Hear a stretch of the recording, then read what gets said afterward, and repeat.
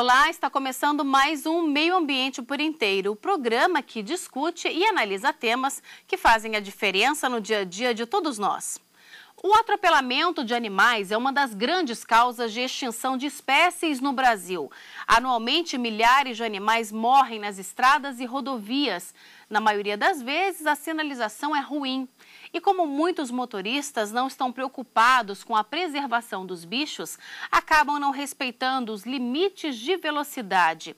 Além disso, os projetos das rodovias são traçados sem nenhuma preocupação com a fauna silvestre.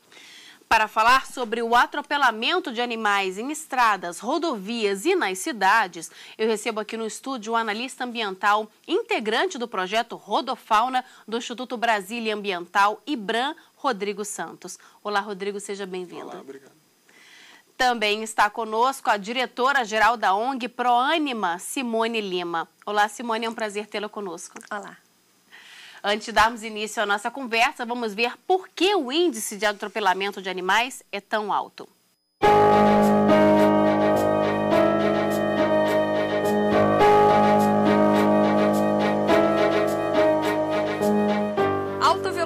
velocidade, falta de sinalização e muita área verde. O cenário perfeito para uma estatística preocupante. Em três anos, o projeto Rodofauna já catalogou no Distrito Federal quase 3 mil animais mortos nas rodovias. Diferentemente do tráfico de animais silvestres, que você considera como uma causa indireta de morte, a caça e o atropelamento são causas diretas de morte. Então, hoje em dia, esses estudos indicam que o atropelamento é a principal causa de morte de animais no Brasil. Duas vezes por semana, eles percorrem 130 quilômetros de estradas que cortam as reservas ecológicas. Logo no início do trabalho de busca, a equipe encontrou um animal morto na pista. E é aí que começa o processo. Cone, luva, pá e trena. Depois de medir e identificar o pássaro, os dados vão para o catálogo e o animal é retirado da rodovia. O fato de retirar o animal da estrada ela tem duas importâncias. Uma é metodológica, que é para evitar a recontagem e a gente não inferir que mais atropelamentos estão acontecendo quando não, não estão ocorrendo.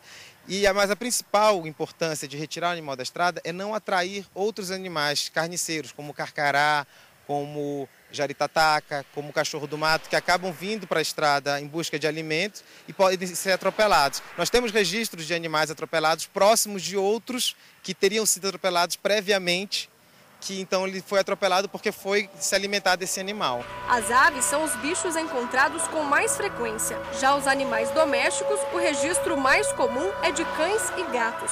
Mas o que vem preocupando mesmo os ambientalistas é a quantidade de espécies em extinção que são encontradas. Perda de um animal, como o lobo-guará atropelado, tem uma, tem uma relevância ecológica superior do que às vezes outros animais com, que não são tão ameaçados. Apesar de todos terem sua importância ecológica, a gente tem que dar atenção para esses animais ameaçados. O projeto percorre cinco rodovias. Uma delas é a BR-020, que liga Brasília aos estados do Nordeste. Nós estamos no quilômetro 28, o ponto mais crítico da rodovia, porque logo ali ao lado existe um buritizal, área com recursos hídricos, o que atrai os animais que estão em busca de água pela própria circulação dos animais, eles acabam vindo para a estrada.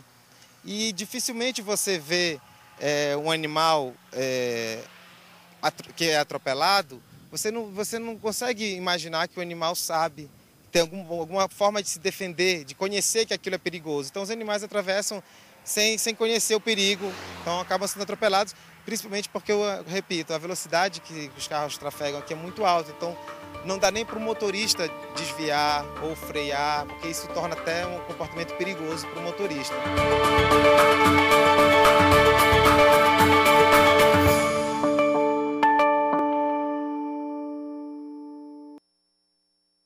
É, Rodrigo, o IBRAM ele está realizando um projeto, não é? E está estudando os motivos e como é que essa questão do atropelamento de, anim de animais ela pode ser minimizada. Fala um pouquinho sobre esse projeto do IBRAM. Então, esse projeto ele começou em fevereiro, março de 2010. Nós já vamos para o terceiro ano agora de coleta de dado. E o intuito desse projeto, todo esse trabalho, é a gente propor medidas mitigadoras nos pontos considerados críticos. Né? Nós estamos finalizando agora um, um relatório que a gente está propondo alguns pontos que seriam prioritários para a conservação de, da vida silvestre. Agora, vocês começaram a fazer esse projeto por quê? Como é que de onde surgiu essa ideia? Essa ideia ela estava um pouco embrionária quando a gente chegou no órgão, né? Havia a proposta, é, mas não haviam as pessoas, não haviam os meios. Uhum. É, e aí a gente passou a pesquisar, né? A nossa equipe deu uma pesquisada e viu é, da problemática desse assunto, né? ah. que é um assunto recente, ele deve ter por volta de uns 15 a 20 anos que ele está se desenvolvendo, mas só nos últimos 10 anos que ele criou maior importância. E pesquisando a gente viu que seria um trabalho importante, um trabalho é, pendente que acredito que nenhum outro órgão ambiental faça, é, nenhum outro órgão estadual faça um trabalho parecido. Né? E aí surgiu essa proposta e nós iniciamos esse trabalho em 2010. Muito interessante. Bom, Simone, e a ONG ProAnima, ela uhum. também tem um projeto voltado para o atropelamento de animais. Fala um pouquinho sobre esse projeto também. Bem, a demanda em relação a animais atropelados no Distrito Federal, é, cães, gatos, eventualmente cavalos, é muito grande. E por conta disso, nós recebemos, no passado a gente recebia um e-mail por mês, hoje em dia é muito difícil passar uma semana sem pelo menos dois casos de atropelamento, que as pessoas buscam o nosso apoio quando o animal é encontrado vivo e nós temos recursos muito limitados, mas nós temos uhum. um fundo que se chama o Fundo Brown, em homenagem a um cão que, que esteve com a gente, que foi vítima de maus tratos. É, quando ele faleceu, a gente fez esse, criou esse fundo e todos os meses a gente destina um quantitativo financeiro para ajudar as pessoas a fazerem a sua parte, ou seja, levar o animal no hospital veterinário ou pagar pela sua fisioterapia, todos os recursos que a gente tiver, medicamentos, aparelhos que a gente tem em estoque por, por conta de doações, também a gente encaminha para esses casos, além de encaminhar para clínicas veterinárias conveniadas com, com a gente que tem um preço mais em conta. Agora, Rodrigo, esse dado de que o atropelamento de animais é uh, a primeira causa de morte direta, ou seja, é maior até do que a caça, é bem alarmante, não é?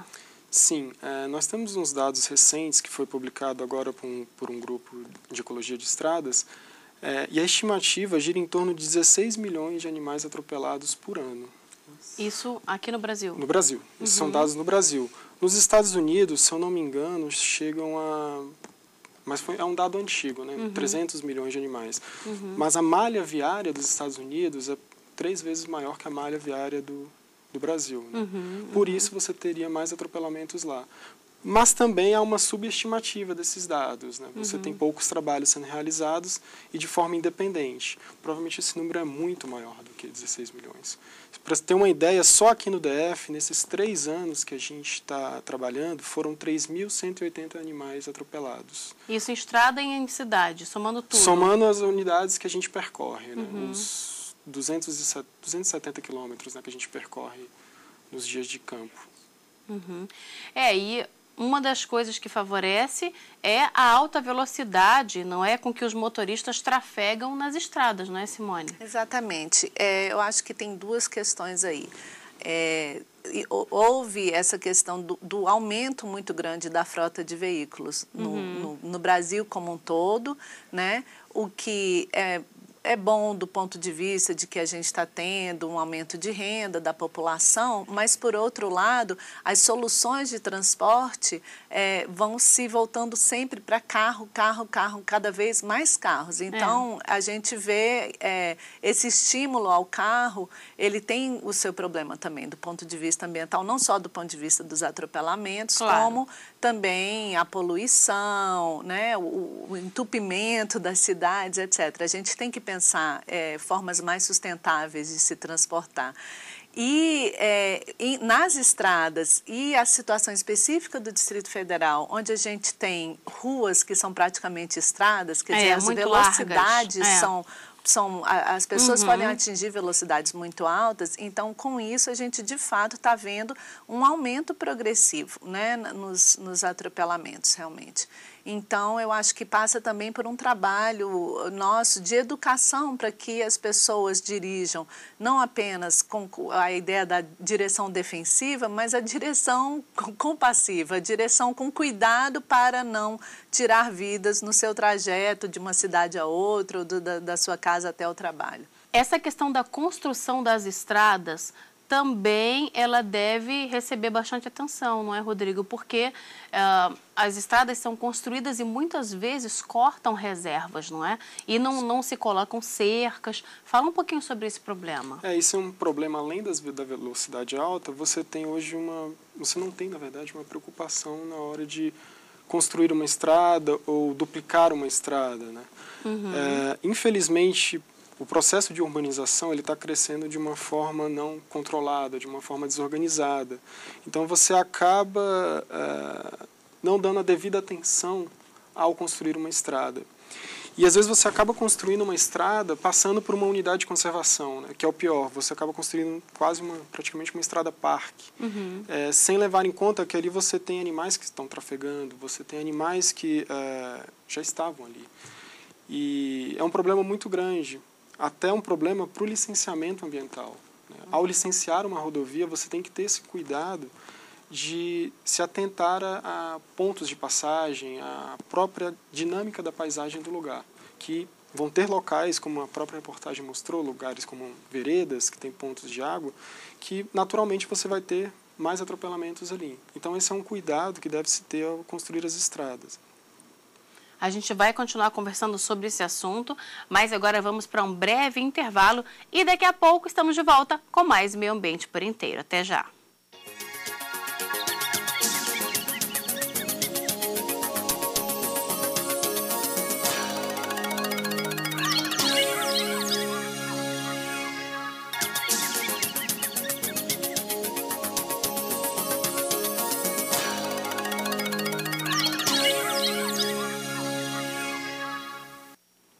Estamos de volta com o Meio Ambiente por Inteiro, que hoje fala sobre o atropelamento de animais em estradas, rodovias e nas cidades. Participando do programa, o analista ambiental integrante do projeto Rodofauna do Instituto Brasília Ambiental IBRAM, Rodrigo Santos, e a diretora-geral da ONG Proânima, Simone Lima.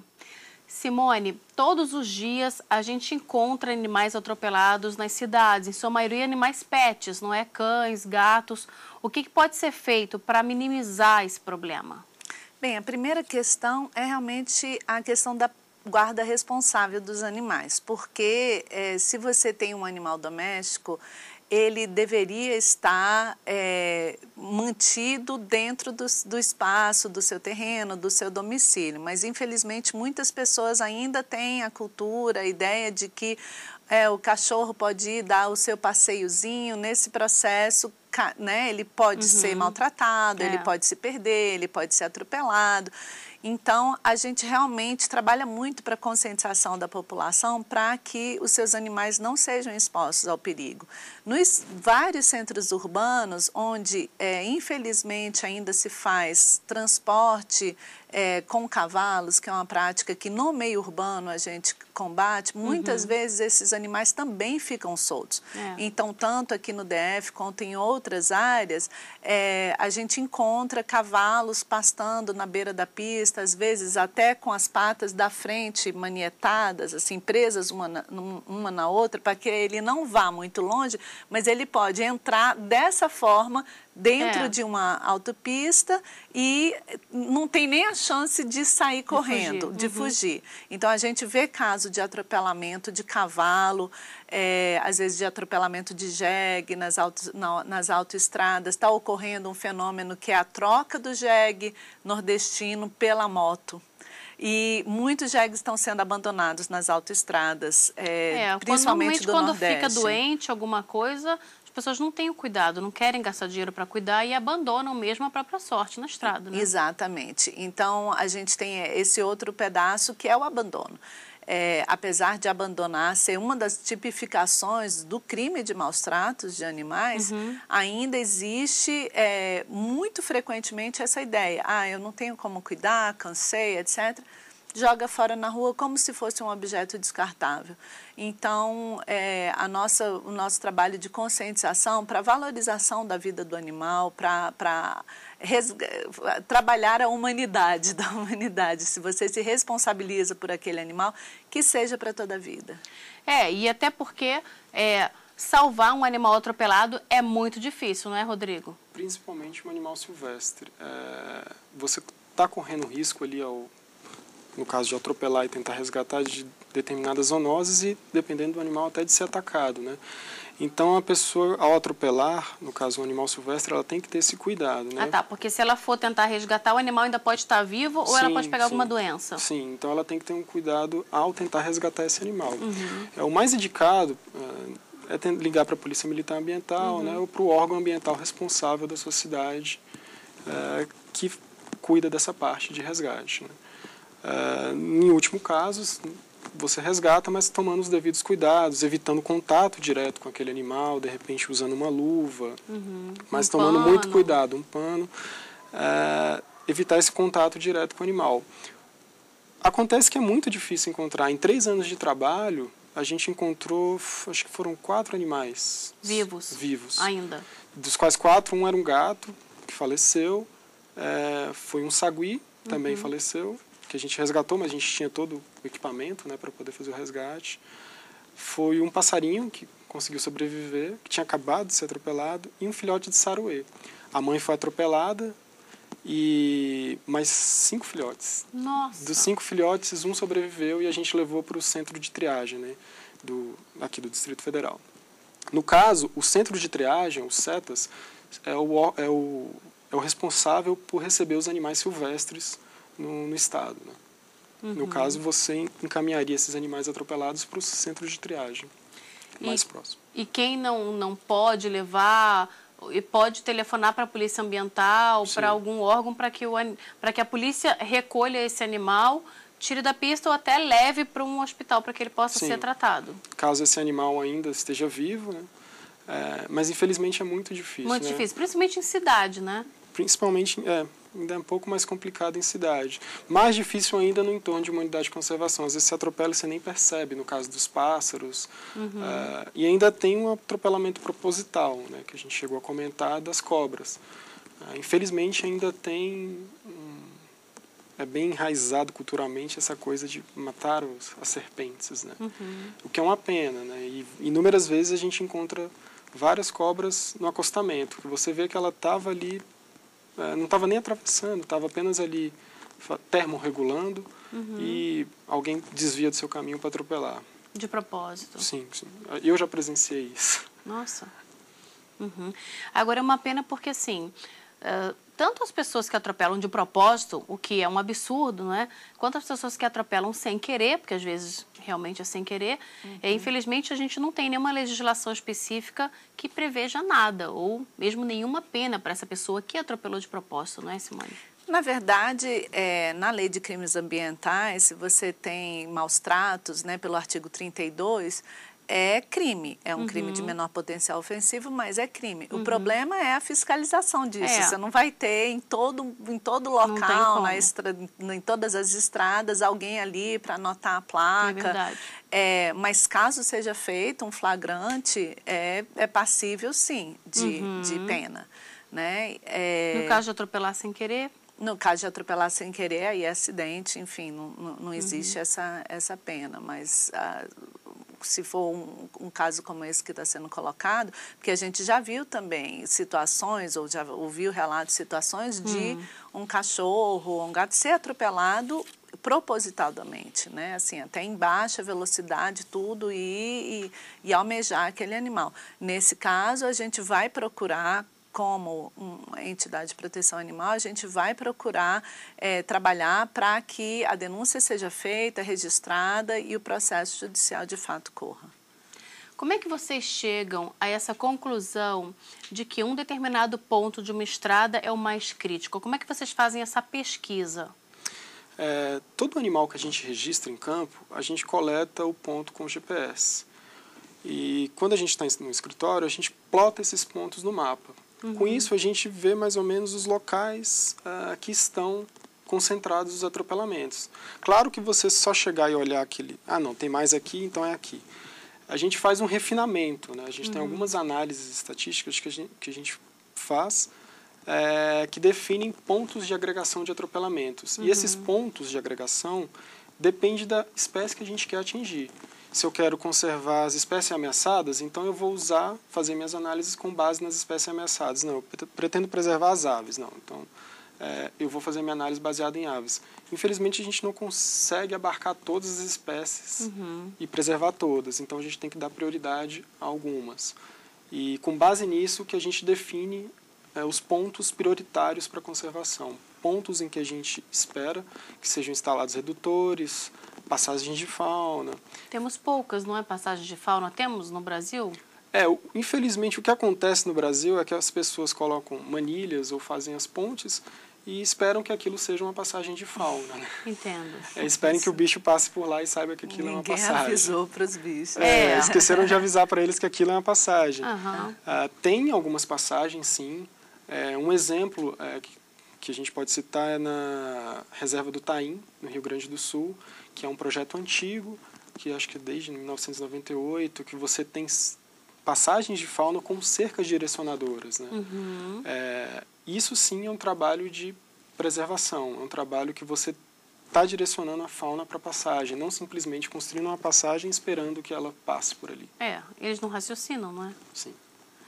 E essa questão da instalação de cerca também seria uma medida que até poderia evitar né, o maior número de atropelamento, mas são muito poucas cercas, não é, Simone? É, é, então, tem, tem em alguns locais do país, mas é muito raro. A gente anda para cima e para baixo do país e não vê.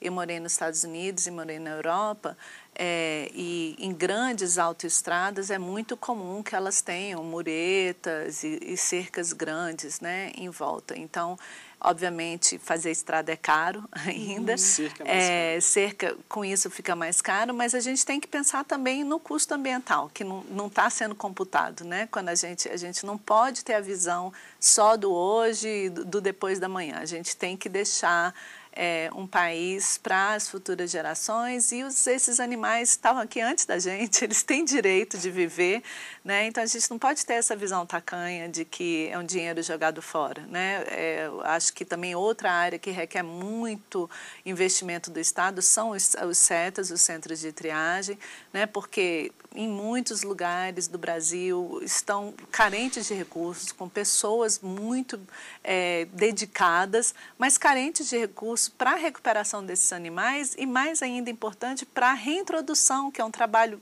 caríssimo, custoso, difícil, que requer pesquisa, que requer investimento. Então, a gente gostaria muito e trabalha muito para que a, as políticas públicas olhem também para esses aspectos da, da preservação da nossa fauna. Só complementar é, a questão das cercas, não é simplesmente instalar cercas, né? Você tem que manter as cercas. Uhum. É, assim como você tem que manter um setas, enfim. Todo o aparato. Se você coloca uma cerca e não a mantém, é, daqui a um tempo essa cerca vai abrir um buraco é. e aí você acaba criando um ponto ali de atropelamento, que ela tá uhum. não está direcionando para o local ideal. Uhum. Então tem que haver essa preocupação né? a mais a mais. Junto com a educação também, nossa, Sim. não é? Dos motoristas. Esse também é um, talvez um dos pontos mais difíceis, né? Sensibilizar o motorista de que você está passando por um ponto crítico ou que você está passando por uma unidade de conservação que você precisa tomar o cuidado, reduzir a velocidade. Sabe? Talvez esse seja o ponto mais crítico de toda essa problemática. Né? E é. que uma, sim, uma simples redução de velocidade já contribuiria muito para a diminuição dos atropelamentos. É verdade. Olha, muito obrigada pela presença de vocês dois aqui no nosso programa. A obrigada a você pela oportunidade. Obrigada. Obrigado. E nós ficamos por aqui, mas na semana que vem a gente volta a se encontrar em mais um Meio Ambiente por Inteiro. Se você quiser enviar alguma sugestão para a gente, anote o nosso endereço, meioambienteporinteiro.stf.jus.br. Muito obrigada pela sua companhia e até o próximo programa. Tchau.